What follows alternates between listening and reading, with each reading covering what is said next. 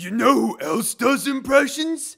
My mom! You! Good show. Jolly good show. Uh.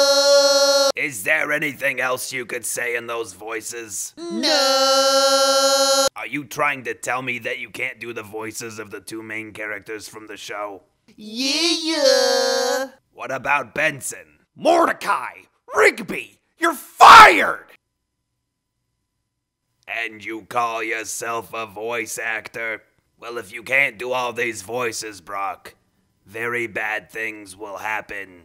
I'm High Five Ghost. I don't know. Do I have any catchphrases? Not good enough. bad show.